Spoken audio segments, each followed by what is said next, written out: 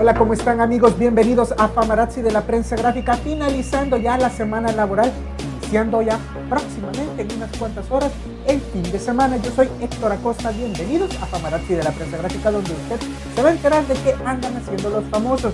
Le comento de que Rihanna tuvo tremenda bronca con su novio durante sus vacaciones que realizaron en México. Resulta que el novio de Rihanna, Hassan Hamel, aprovechó para alcanzarla e intentar salvar su relación de un poco más de un año, pero no todo resultó como esperaba. La pareja fue captada, como usted lo ve, en una acalorada discusión el fin de semana mientras tomaban el sol.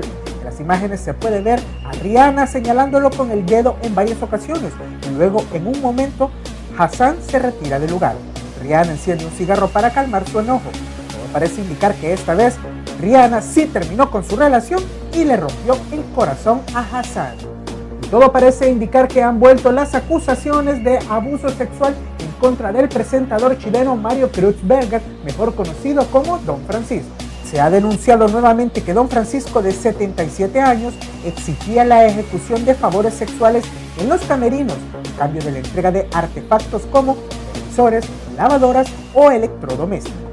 Estos presuntos excesos están consignados en un libro llamado Don Francisco, la biografía no autorizada de un gigante. Este se publicó en 2016, antes del estallido de los movimientos como Me pero hoy ha vuelto a cobrar vigencia gracias a las columnas de opinión de su autora, así como las declaraciones que ella ha dado a diversos medios. Bueno, y una vez más, Shakira y Gerard Piqué dieron de qué hablar y es que andan circulando en internet unas fotografías y unos videos donde Piqué, mire, acaricia cariñosamente a Shakira en el trasero. Por un momento todos creyeron que sería un adiós definitivo, pero lo cierto es que a juzgar por este video, Shakira y Piqué todavía mantienen encendida la llama de la pasión.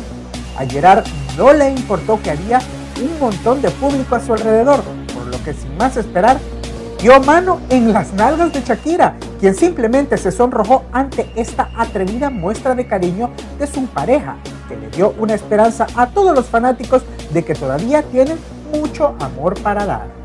Bueno, recordemos que esta famosa pareja sufrió de varios rumores hace un par de meses de que se iban a separar, pero tal parece que con estas imágenes todo está así, a flor de piel, un amor que parece que va a seguir durante mucho tiempo. Ojalá que así sea. Yo me despido hasta acá, invitándole a todos los hombres a que siempre visiten las barberías de Rufios que están en cuatro sucursales, Metro Centro, Zona Rosa, Plaza Mundo y Multiplaza. Ahí Visitos tiene una amplia gama de servicios para que usted, mire, se consienta durante el fin de semana. Yo se lo recomiendo.